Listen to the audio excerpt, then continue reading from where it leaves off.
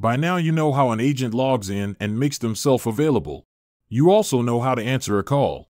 Sometimes agents need help, so let's learn how to transfer a call. We are looking at the agent desktop. Please note that the agent is in the available state.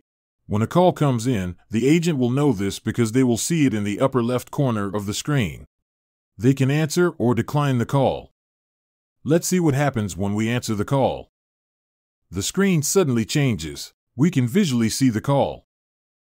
We see that it came from the main number, in this case, 240 204 9150. This company happens to have several business lines, and we can see that the caller has indicated their interest in toasters. We can also see the length of time this call has been going on, here. Notice too that the agent is no longer available because they are engaged in a call. Let's say the customer has a question that the agent is not fully equipped to answer. In this case, the customer had a question about microwave ovens, but found themselves speaking to an agent from the toasters department. The agent needs to transfer the call, so they would click on the transfer button. This brings up three possible options. Agent allows the agent to transfer to a specific person.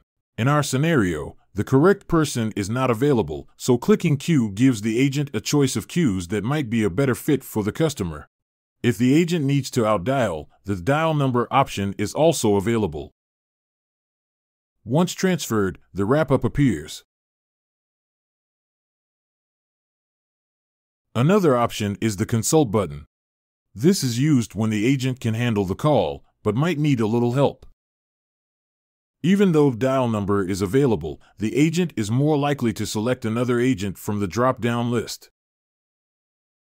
Once accepted by the other agent, both can be on the phone with the customer or just a warm handoff to the other agent.